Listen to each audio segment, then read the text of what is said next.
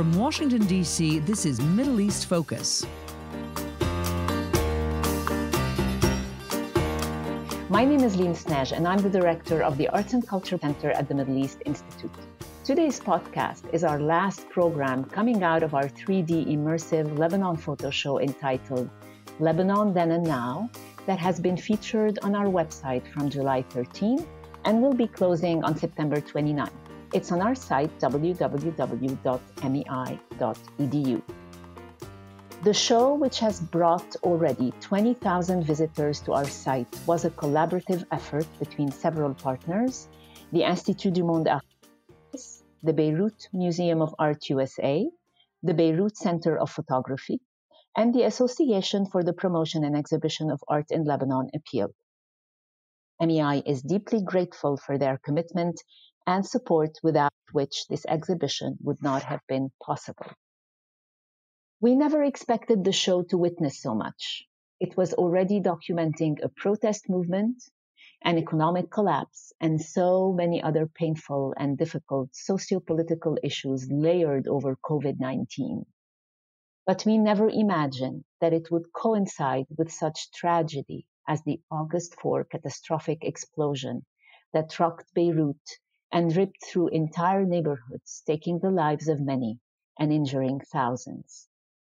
The blast destroyed large parts of the city and leveled historical neighborhoods that also housed much of the city's vibrant arts district. Lebanese are now trying to restore lives and spirits before they can figure out how to restore their lost architectural splendor and their art scene which has been deeply impacted at so many levels. The blast has underscored the fragility of life and the built environment and has made the questions of collecting, preserving, and archiving even more relevant and critical than before. And today, we're going to look at the broader challenges around archiving, collecting, around photography and its role in society, but we're going to start with the blast and its impact on these critical questions. To talk about those issues, we are joined today by two leaders of cultural institutions who have made significant contributions to the development of photography in Lebanon and the Middle East, and a photographer whose documentary work has been exhibited widely and is featured in the exhibition. I would like to welcome our guests. Patrick Baz is an award winning photographer he covered the world's major conflicts and is also founder and executive director of the Beirut Center of Photography, a partner in our show. The center is a nonprofit organization established in 2016 and dedicated to photography and visual culture based in Beirut. The center organizes exhibitions, workshops, debates, and educational programs with the goal of positioning the Middle East and North Africa on the photography world map and the goal of making photography accessible to all. Kristine Khouri is an independent researcher, writer, curator, and photographer whose research interests focus on the history of art circulation and infrastructure in the Arab world and archival practices and dissemination. Khouri is a member of the board of the Arab Image Foundation in Beirut, a nonprofit established in 1997 with the aim to collect, preserve, and study photographic material from the Middle East and its diaspora, and develop new narrative approaches and representations to collections. Their evolving collection contains more than 500,000 photographic objects. These objects date from the 1860s to the present day and span 50 countries. Their work has influenced many curators around the world and revolutionized the manner in which collections and photography are perceived across the Middle East and beyond. And last but not least, Emilie Madi. Emilie is a photographer, cinematographer based between Lebanon and Canada, her photography tries to capture moments of humanity within difficult situations. Her rich and diverse work experiences have allowed her to develop a deep and multicultural look at life. She has been very active in 2019 and 2020 in documenting the protest movement and lately has also been recording the blast and its impact on the people and the city. Welcome to you all. It's a pleasure to host you today. I want to start with you, Emilie. I have heard you mention that your first reaction after the blast was to grab your camera and go into the streets to try and understand what had happened. Can you talk about what you saw and how it felt? Thank you for having us today. Um, it's a pleasure talking to all of you. And I'm very happy to hear also that there were that many people who were able to be part of this exhibition, to look at the exhibition, and uh, so many positive uh, responses uh, towards it. It's uh, amazing, and I'm very happy to hear. To answer you to your question, um, during uh, the explosion, I was actually in my office that is in the middle of Ashrafiyeh, where the explosion uh, occurred.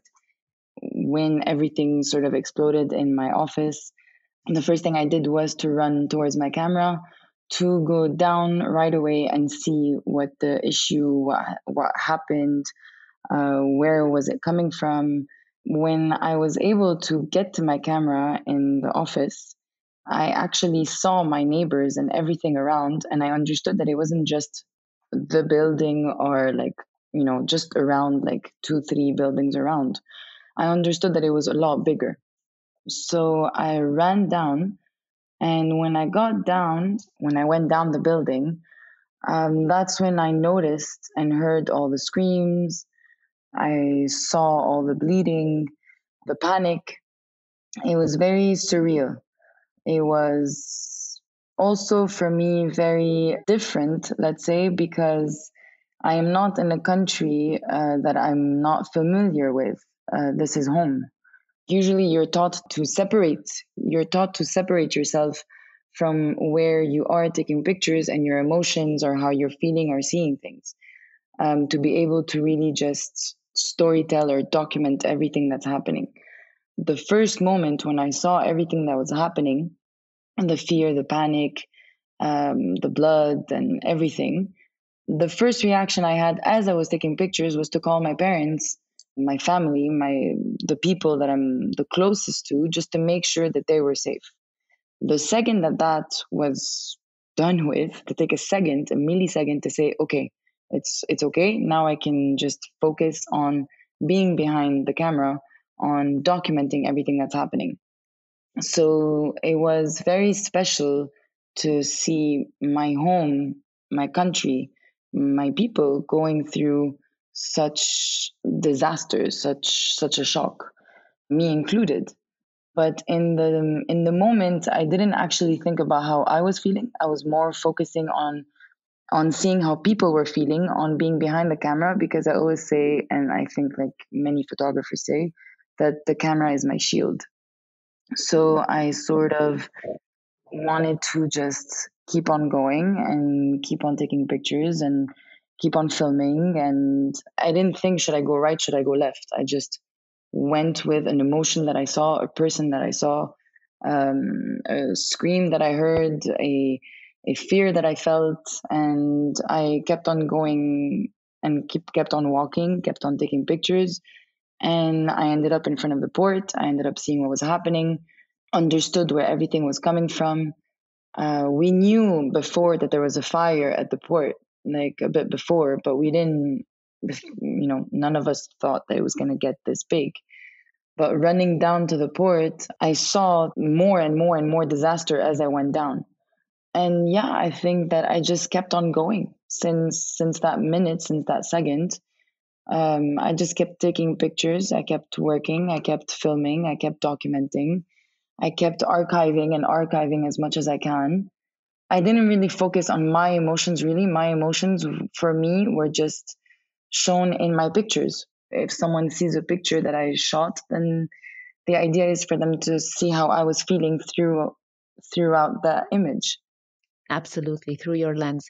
Emilie, obviously you've maybe looked at some of the pictures that you've taken and you've shared some as you say is there one or two pictures that you have taken that have had an impact uh, uh, more of an impact or an emotion on you and if yes can you describe in seconds what that picture is many of my pictures um, i felt something towards them or else i wouldn't be showing them When I take a picture, I don't just snap, snap, snap. I actually take time also and I observe a lot. I'm very quiet and get into my own bubble. And um, when I shoot something, it's when I actually like really feel something towards it. So everything that I've shown for me has a specific emotion to me. Now, there is one picture that went a bit viral with this old lady uh, that was sitting um, on the sidewalk. Uh, for me, that moment was when I actually realized what was happening because as I was taking pictures, I saw her sitting there alone and sort of uh, numb, you know, looking around. She was not in shock. She was more, and now what sort of look, you know, and not the what's happening look, but the, you know, like uh, just observant, just numb. The word for me is just the numbness in her got to me. We caught each other's eyes, and uh, she she sort of put her hand out for me to go to her, and I did. And when I held her hand, um, she held it so hard in a way like don't let go, sort of, you know, like she didn't want to be alone. And I think that's when I sort of took that second and looked around and realized what was happening. It was one picture. For me, if, if it works, it works, and if it doesn't work, it doesn't work. For me, that moment was very was very clear because it was really her expression, her silence, her moment of uh, not despair, but just of numbness. Thank you, Emilie. Patrick, I want to turn to you. There's almost a feeling of before and after for people, for artists, for the entire city. What has been the impact of the blast and the aftermath on, on your organization, on the projects you're involved in, on, on, on you and your team? Hi, Lyne. Thanks for having me. Uh, it's very difficult to talk about the effect that this uh, explosion uh, had on my organization which is uh, very limited compared to the destruction of uh, half of the city. But uh, nevertheless, I guess we're here to talk about photography. And what we had, we, we, we can't do anymore is exhibition because galleries are almost destroyed. As you know, the uh, neighborhood uh, that is the most affected uh, is the art neighborhood, or as we can call it in French, le quartier des arts but we're trying. Uh, what we're trying to do is now to uh, collect grants for photographers. Uh, most of them have uh, had their studios destroyed, their equipment destroyed. Some of them can't, uh, I mean, got accepted, for example, to universities or art schools uh, in Europe and can't go there because the bank do not release the money or because I mean most of their belongings have been uh, destroyed. So, so your focus is supporting them, supporting the photographers directly. Exactly. So that's what we're trying to do. So we did a print sale uh, with uh, Gulf Photo Plus uh, in Dubai for the Red Cross. Among the uh, organizations involved, involved uh, was uh, Magnum Foundation, and other uh, regional uh, photography organization. So we did uh, the sale to help the Red Cross. We collected $100,000 for the Red Cross. So now we're trying to do the same for local NGOs, and uh, 50% of the sales would go to the NGOs, and the other 50% would go to the photographers. The problem we have is uh, also related to the uh, economic situation and to the uh, banking system. We're really hand in working hand in hand with uh, Gulf Photo Plus in Dubai because we can't uh, get uh, money transfer in Lebanon and use the money transfer. You know, we have bank issues. So again, I mean, Gulf Photo Plus GPP is helping getting this uh, in place. Uh, and we can also print for less and uh, ship internationally from Dubai. Thank you, Patrick, for sharing uh, how your organization is uh, trying to stand in solidarity with photographers and trying to respond to their immediate needs. I want to go to you, Kristine. your office and operation, we have heard, have been severely damaged, and we know that the team and the board as well have been actively engaged in relocating the collection, the archive. What is the situation now, almost six weeks after the blast? It, what has happened uh, to the collection? So yes, so there was the, the, the Arab Image Foundation's premises are in Gemmayzeh as well, um, and about 800 meters from the port. And as you said, uh, there was substantial damage uh, that occurred at the office. Um, most importantly, there was one team member who was at the office at the moment of the explosion, and um, he was injured, but he's recovering, thankfully. So I think we have to remember the people before we remember the objects. One of the board members was nearby um, and also had a minor injury, um, but is is recovering. So um, I would say that the you know kind of just to get a sense of the damage, uh, all the glass blew out from the windows, uh, many of the doors, you know, from their frames. We have a cool storage room which houses the bulk of the collection, thankfully. Um, and that's what probably protected the collection from more significant damage. But even the fireproof doors of the of that room were damaged, which is pretty remarkable. Of course, um, equipment, computers, digitization material, they're all uh, thrown to the ground. Much of it is destroyed. Thankfully, the first assessment of the collections uh, showed that the foundation's preservation practice was efficient and effective. So most of the collection seems to be unharmed. Some of the framed objects broke. Um, some preservation boxes were damaged, but what's um, it took about 10 days for the team, and I'm to be clear, I'm not in Beirut. I was not there during the explosion. So I'm speaking to the foundation and about uh, the team that was there or that is there working. So it took the team and uh, a group of volunteers about 10 days just to clean the office and secure the collections. Um, we also, in addition to the collections, there's the workspaces and a library um, at the foundation. So it took about 10 days to clean up. Um, the digitization lab was turned into a makeshift storage area where there was minimal climate control, um, and that's where the collections currently are. And what's been going on now, and will take some time, is a proper assessment of the damage to the collections. Um, so that's one of the major activities of uh, members and volunteers at the foundation today.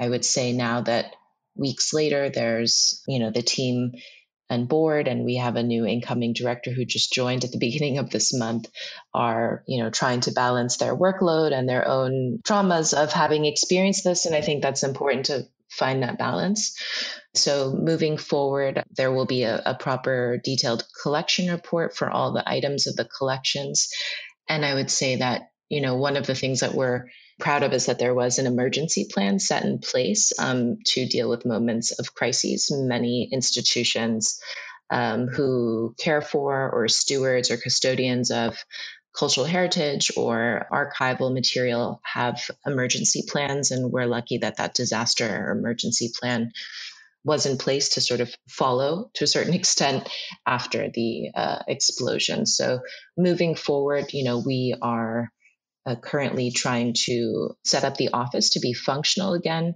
in addition to the work around assessing the collections. We are considering finding another space to move into, and we would need to rebuild our cool storage room. So, you know, we're also trying to use this opportunity to think a bit more nimbly about what it means to have uh, to work in Lebanon, to preserve collections that require electricity and, you know, cool storage to think about the environmental considerations, but also um, sort of the precarity in the country and the minimal resources. So we're also using this opportunity to see how uh, we can address those questions. I hear you, uh, Kristine, and it it almost feels as if our you know entire world is convulsing. So much is at stake right now, particularly in Lebanon, but also regionally and even globally. Uh, the pandemic revealed so many flaws in the systems that govern our lives, um, and we need to rethink so many things about ourselves, our societies, and our systems. Patrick, in your opinion, what is the role of photography in this sort of massive sort of transformational period? How can organizations like yours, which are also platforms for, for conversation using photography, be engaged in this conversation and in, the, in this time of sort of transformation?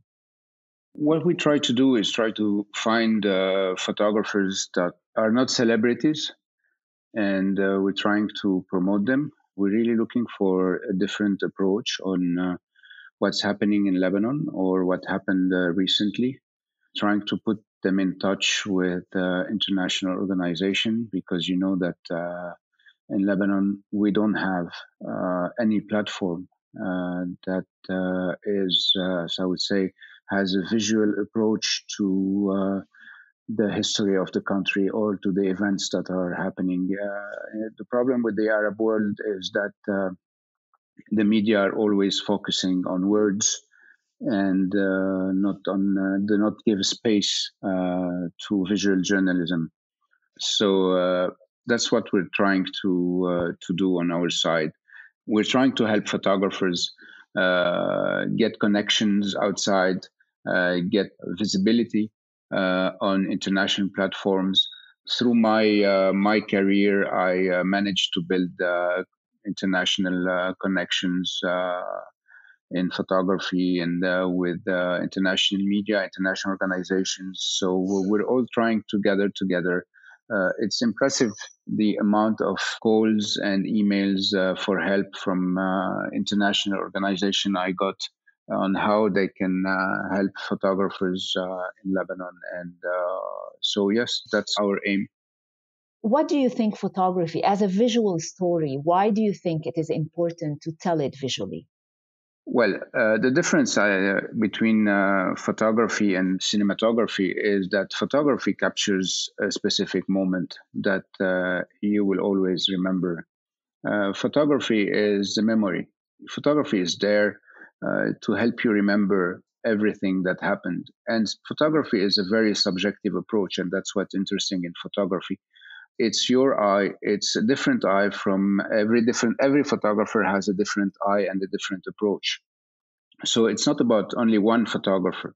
It's about different approach on a specific subject. That's what makes it uh, interesting. And it's also related to uh, the lens you use the light the uh, frame. Uh, so you have a specific moment that was caught by I would say now nowadays we have like I don't know on the specific event that happened on the explosion. I would recall hundred photographers. So imagine if you can collect the work of hundred photographer uh, photographers on this on this specific event. That's what makes it interesting. It's a different approach. You will barely find a similar image on this event. Kristine, I, I want to turn to you collecting, archiving, preserving have not been and are not, you know, a forte for the country nor the region. But amidst what we're discussing, amidst the the the the, the, the catastrophe, the horrific catastrophe in Lebanon, and the global backdrop, how important is the role of archiving in in this time of crisis and social transformation and questioning? Well, I think that, you know, maybe while it maybe is not perceived as a forte of the country or the region, I think there are a lot of uh, remarkable independent initiatives uh, that have and, and individual projects, um, whether be it by academics or artists, uh, filmmakers, uh, activists, to document and to archive life in these cities, whether it's through um, photographic materials or otherwise. So I think the answer is maybe obvious in moments of crises like this. We need to remember and we need to document and safeguard kind of these materials so that the histories, um, you know, 20, 30, 50 years from now, when people look back and um, have access to or can see in one way or another the images taken by these photographers today, you know, the, the oral history, the memories, um, the testimony of what happened, uh, because precisely it's um, the people do the work of the state in many ways in, in Lebanon and in many parts of the world. And so this there's an even more of an urgency that um, the citizens are able to preserve uh, this uh, these memories and this moment because it's precisely about power and writing history. And so it's on all of us uh, to document, to preserve what is happening right now. And you know that's a big burden to a certain extent. Um, and and one is it's not about uh, archiving is not about saving everything, but I think that uh, it's it's important now, especially for uh, the community, which I think is uh, coming together to support each other um, in the work that they're doing. And there's been an outpouring of support, not only internationally, but locally between organizations, between institutions to support each other in their work and preserving their archives. Absolutely. And and Kristine, if I may, I mean, the Arab Image Foundation has been, I mean, one, one of the goals is also to come up with alternative ra- narratives, right? To counter the image ideas that become sort of associated with a place and to come up with alternative narratives through this, you know, archives through projects and research projects and exhibitions. What are your thoughts on this from the perspective of the foundation's work? Absolutely. I mean, I think many independent uh, organizations or projects that do the work of documenting and archiving are um, in it because they want to create spaces um, or find a need to uh, offer spaces to document and for others to come and facilitate the research around writing different narratives. Narratives from those in power are precisely, you know, those in power are the ones who are at fault for uh, this explosion. So the narratives coming out from the state are not exactly the ones that are to be believed. And so it is on all of us to make sure that uh, our voices are heard, or rather, the voices of the people who have experienced this, who can reveal um, what is truly going on, that they're heard. And so, absolutely, whether there, I think alternative is maybe alternative to the official or a state narrative. As you know, there's a the textbooks in Lebanon um, really end in 1975. Writing the history after or of the Civil War is um, contested still, and many of the people who were involved in that are still in power today. And so it's uh, even more urgent uh, these days to make sure that spaces and in- initiatives that are giving voice to uh, those who are documenting, who are photographing, who are recording um, and preserving this uh, these histories. Um, you know, supporting those uh, initiatives is even more urgent. Thank you, Emilie. You know, there is certainly the need to document, to document tragedy, to record it, uh, so people see it. But there's also a danger that those images can become the only visual that is associated to a place. You know, forging stereotypes in people's mind about a place and and you know we all know that Beirut is associated to a war-torn city and you know no matter what the, this seems to be catching up with the city. What are your thoughts on this? Where does your work sit in relation to this? You know to follow up a bit on what Kristine was saying they say it's the winners who write the history. Our biggest problems in Lebanon today affecting at least two to three generations is not only that we never had a winner, let's say, but that our history books literally stops in 1975. And that's like 45 years ago. So I do agree that me personally, uh, me, let's say personally, I want and I people need to look at things more objectively. And this is why I think archiving is so important the way I take pictures, the way I want to shoot and you know film and take images of anything I can, everything I can, everything that for me has a meaning, and I really try to be as unbiased as I can. It's to tell myself that maybe, hopefully, one day everything I am taking could be part of history, could be in a history book, could be talked about could be not just you know uh, oh yeah this was you know this happened in lebanon but that it's actually written somewhere.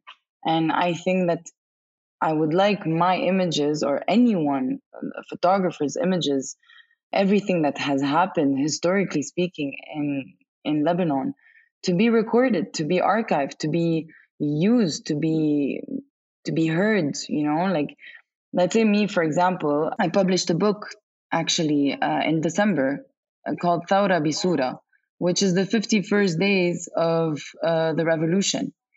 Um, I divided it in five different emotions and I kept it extremely simple.